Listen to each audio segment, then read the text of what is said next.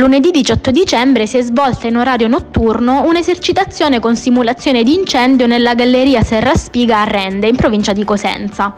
L'esercitazione rientra nell'ambito delle attività previste dal decreto legislativo 264 del 2006 per la sicurezza dell'utenza stradale lungo le gallerie della rete transeuropea. Le attività hanno riguardato una simulazione di potenziale pericolo all'interno della galleria a seguito di un evento incidentale di particolare gravità per testare l'efficienza degli impianti tecnologici di sicurezza a servizio della galleria, le modalità previste dal piano di emergenza e i conseguenti tempi di intervento.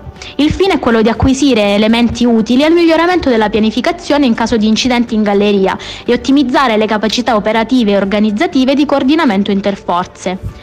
Gli esiti delle esercitazioni inoltre consentiranno di effettuare delle analisi sull'accaduto che daranno luogo a un aggiornamento del piano gestione emergenza.